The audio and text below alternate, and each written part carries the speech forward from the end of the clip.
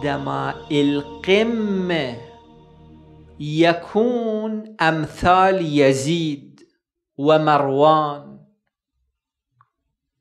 هؤلاء الذين كانوا يفقدون جميع القيم الأخلاقية. فما بالك بالمجتمع؟ إذا كان رب البيت بالدف مولعا فماذا تكون شيمة أهل البيت؟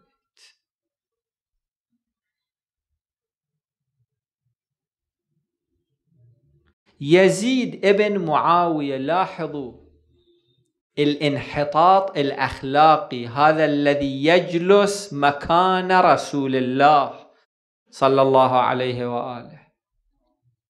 مكان خاتم النبيين صلى الله عليه وآله. هذا اللي مفروض يكون قمة في الدين والأخلاق. لاحظوا شنو كاتبين حول وضعه الخلقي. ماذا كان يفعل مع محارمه؟ شاب فاسق فاجر مستهتر. لا يعرف أية قيمة من القيم.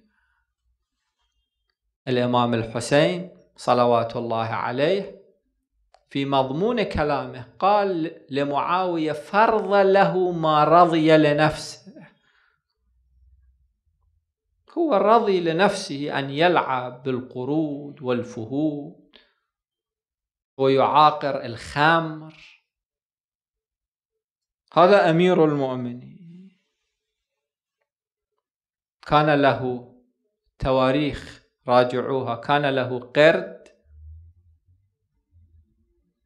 يلاعبه. وكان يشرب ويسقيه فضل شرابه.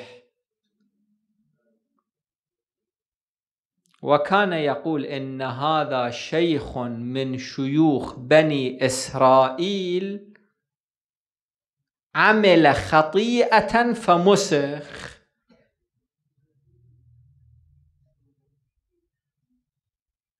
كان يركبه على أتان. ويجريه في حلبات السباق ويتفرج. ويقول تمسك أبا قيس كناه بأبي قيس بفضل عنانها فليس عليها إن سقطت ضمان إذا وقعت الأتان لا تضمن. في يوم من الأيام الريح أطارت أبا قيس وسقط من الأتان فحزن عليه حزنا شديدا. وأمر بكفنه ودفنه.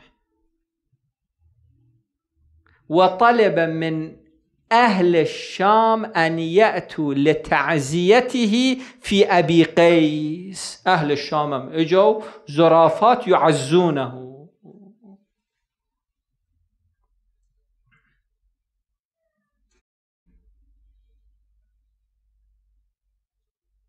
إذا الحاكم هالشكل يكون إذا الأب في البيت ما يصلي صلاة الصبح. فماذا تتوقع من الأولاد؟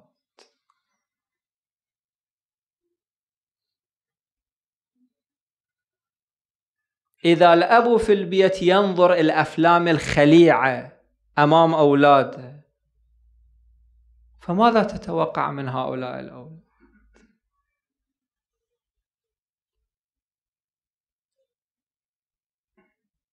هذا الواقع في القمة خلق انهيار أخلاقي في القاعدة